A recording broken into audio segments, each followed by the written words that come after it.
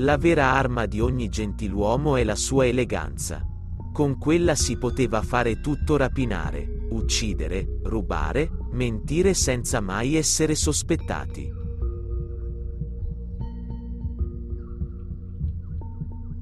Chi vuole troppo è un pazzo, perché un uomo non può possedere più di quello che il suo cuore riesce ad amare.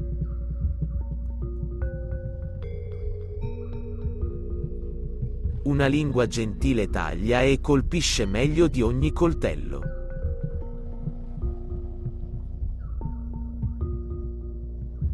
Nessuna forza politica, nessun potere imposto con una bandiera vale tanto quanto la libertà naturale di una singola persona.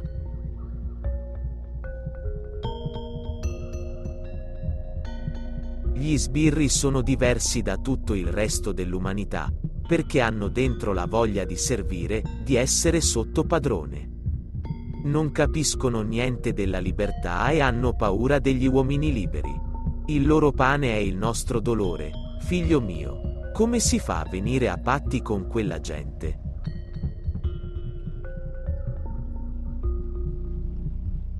All'epoca dell'URSS tatuare era ritenuto un crimine in sé, e per questa attività si andava in galera.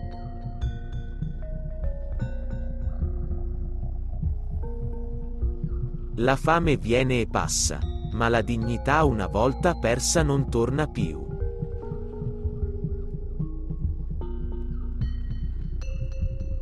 I tatuaggi bisogna soffrirli.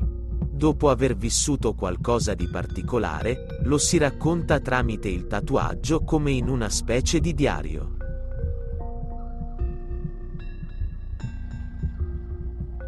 Gli animali vivono seguendo il loro istinto e non fanno sbagli.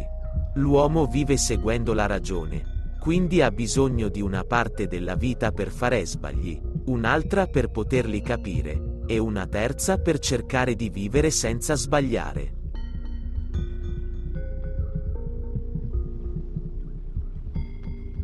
Muto era soprannominato così perché non parlava mai, ma quando parlava diceva quasi sempre cose vere.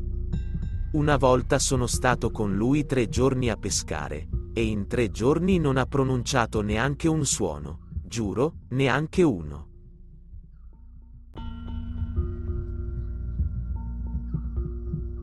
Secondo la tradizione siberiana, l'omosessualità è una malattia infettiva molto grave, perché distrugge l'anima umana, noi quindi siamo cresciuti nel completo odio verso gli omosessuali.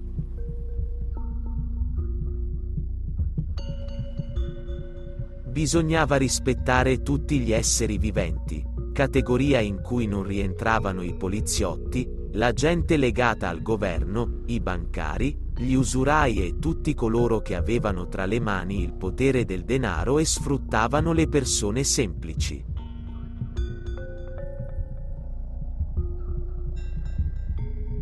Ho vissuto la mia vita come un lupo degno. Ho cacciato molto e ho diviso con i miei fratelli tante prede. Così adesso sto morendo felice. Invece tu vivrai la tua vita nella vergogna, da solo, in un mondo a cui non appartieni, perché hai rifiutato la dignità di lupo libero per avere la pancia piena. Sei diventato indegno.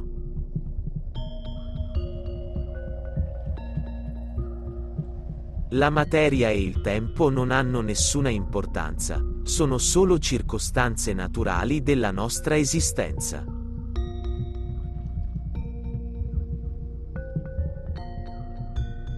Nella comunità siberiana si impara a uccidere da piccoli. La nostra filosofia di vita ha un rapporto stretto con la morte.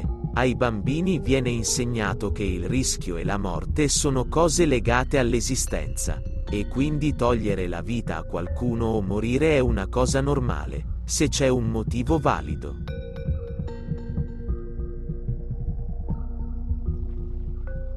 Gli insegnamenti religiosi servono ai potenti di questo mondo per sottomettere la gente al proprio controllo. Così le idee buone, capaci di unire le persone, diventano le catene che le rendono schiave, il veleno che le uccide, il rancore che le divide.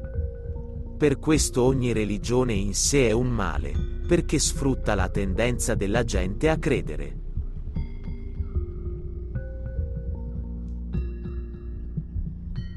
Se solo sapeste che amico ho perso in battaglia. Punto punto. È successo non 42 anni fa, ma l'altro ieri. Punto punto. In mezzo alle montagne, nella sabbia, dove il caldo brucia tutto, infuocando la mia memoria, ormai lontana dall'infanzia. Noi da ragazzi leggevamo libri di guerra. Lui di certo non poteva immaginare che sarebbe toccato a me trascinare il suo.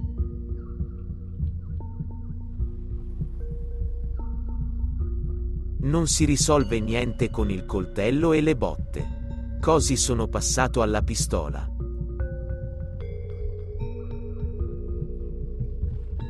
Era un ragazzo molto chiuso e debole.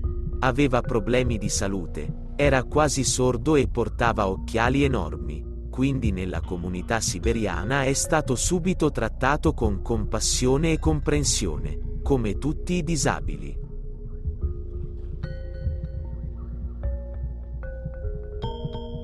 La gatta non partorisce quando vuole, ma quando arriva il suo tempo.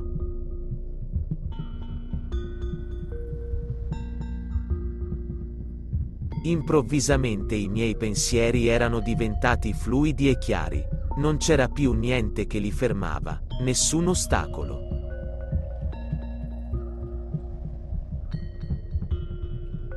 Nella tradizione criminale siberiana le persone malate nello spirito o nel corpo sono considerate sacre, definite messaggeri di Dio e chiamate voluti da Dio.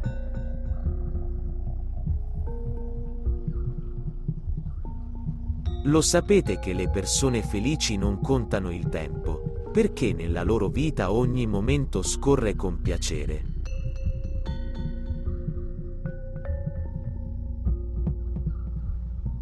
Non ti servirà la curiosità, perché una volta soddisfatta può trasformarsi in un vuoto che porterai dentro di te per tutta la vita. Neppure l'entusiasmo ti servirà, perché a ogni ragione di entusiasmo si accompagna una difficoltà di uguali proporzioni, e saranno proprio le difficoltà a schiacciarti come un insetto. Le uniche qualità di cui hai.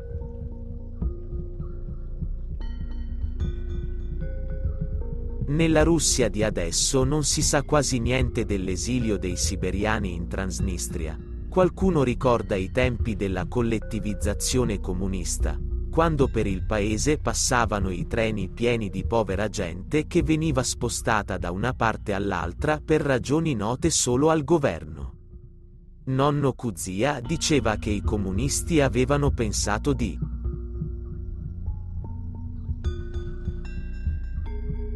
In guerra l'idea della morte non abbandona mai i tuoi pensieri. Ognuno prova a esorcizzarla a modo suo. Qualcuno tenta di scacciarla, altri ne sono ossessionati e finiscono col diventarne vittime, altri ancora si comportano duramente, cercano di tirare fuori il peggio di sé, come se dentro le loro anime ci fosse un generatore di cose negative.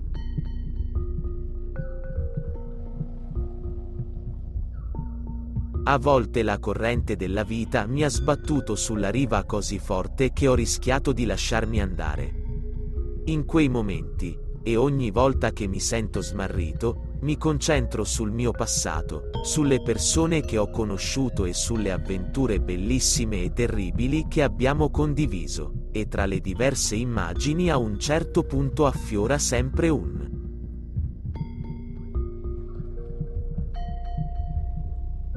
Non è il titolo che fa l'uomo importante, ma è l'importanza dell'uomo che rende onore al titolo.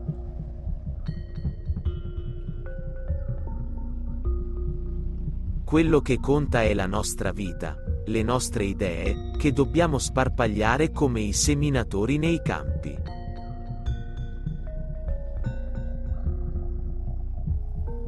Ogni uomo porta dentro di sé Dio e il diavolo. In certe situazioni è giusto che uno prenda il sopravvento sull'altro, solo così l'uomo può sopravvivere.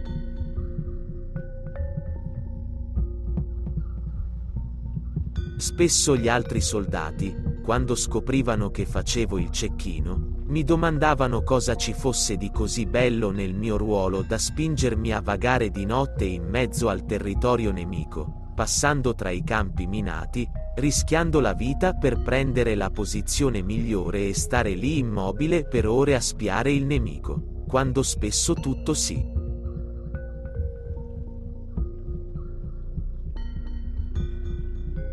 La pistola è uguale al portafoglio, si tira fuori solo per usarla, tutto il resto è da imbecilli.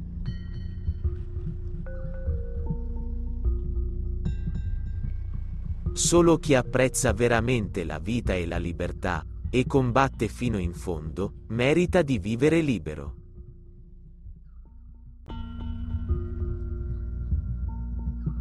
Dal comando arrivavano di volta in volta numeri diversi. Prima si parlava di mille terroristi, poi di 1500, infine di quasi 3000. Ogni ora il numero saliva come fossimo stati a un'asta. Una cosa però era certa. Molti di loro erano arabi e afghani, gente povera assoldata per combattere, quasi tutti tossicodipendenti.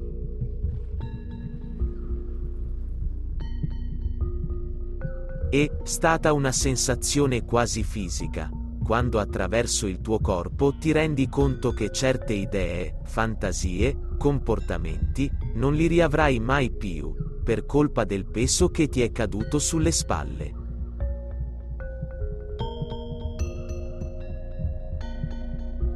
In guerra mi facevano più impressione i vivi che i morti.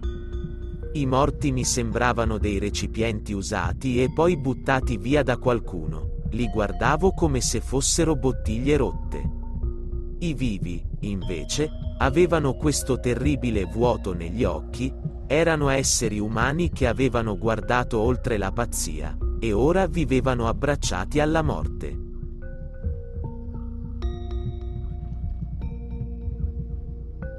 La giustizia umana è orribile e sbagliata, per questo motivo solamente Dio può giudicare. Peccato che in alcuni casi noi siamo obbligati a superare le sue decisioni.